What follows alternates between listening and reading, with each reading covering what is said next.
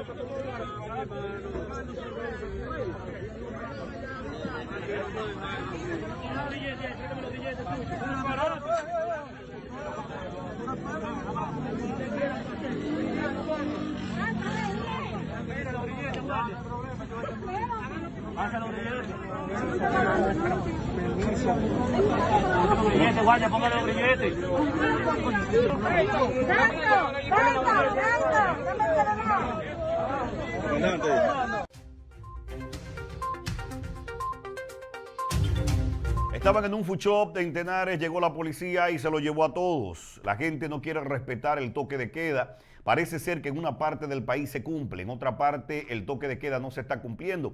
El jefe o director de la policía reconoció la desobediencia para cumplir el toque de queda y pide la colaboración de la población.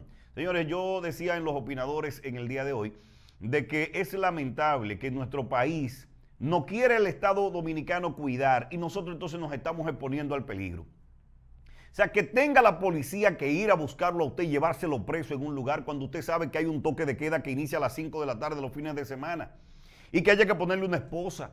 Que hay lugares donde la policía llega y los reciben a botellazos, los reciben a pedrada, porque nos encanta el desorden, nos encanta la desobediencia. Pero ¿y qué es lo que tenemos en, eh, eh, en la cabeza, hermano? Que la gente no quiere acatar las autorizaciones que se han dado de toque de queda en el país. Ah, entonces cuando se meten a un fuchó, como este, como esto que acaba de pasar, lo sacan, le ponen las esposas, se ponen bravos, patean, aruñan. Imagínese usted. Vámonos con lo que sucede frente a un destacamento policial en un video que nos enviaron en la tarde de ayer, precisamente hablando de toque de queda. Tenemos las imágenes. Estoy viendo aquí.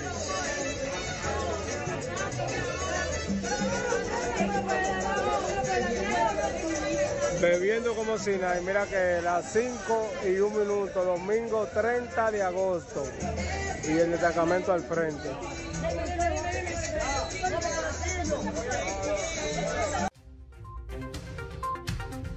Yo creo que el director de la Policía Nacional, Edward, debe de poner carta en el asunto inmediatamente. Mire, en una información, como decíamos antes de irnos con ese video, logramos observar la información que nos envía. Dice Edward que para cumplir el toque de queda es difícil, que el pueblo no quiere obedecer. Pero ¿y ese destacamento policial?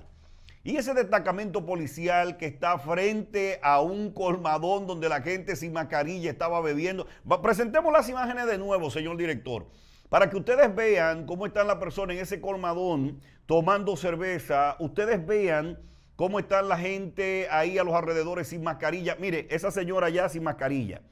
¿eh? Mire ese señor con la mascarilla en la barbilla. Esas dos jóvenes sin mascarilla.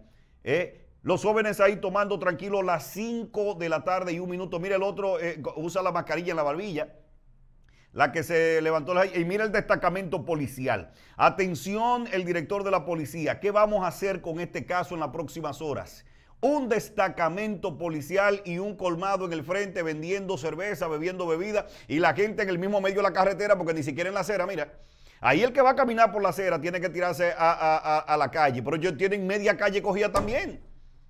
Y entonces, ¿qué es lo que está pasando? Claro, señor eh, director de la policía, que hay que tomar medidas y que hay que orientar al pueblo dominicano y que el pueblo es desobediente en la gran mayoría de ocasiones.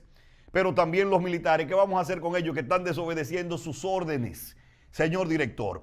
Vámonos inmediatamente con la información donde la policía presa 58 personas durante toque de queda. Esto sucedió en la ciudad de Santiago. La información que nos envían donde la Policía Nacional apresó unas 58 personas en diferentes sectores de esta ciudad.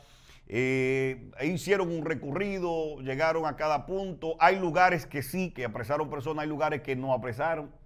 Dicen las personas que nos enviaban la información que la policía en esos lugares habían personas tomando bebidas alcohólicas y no le hicieron caso.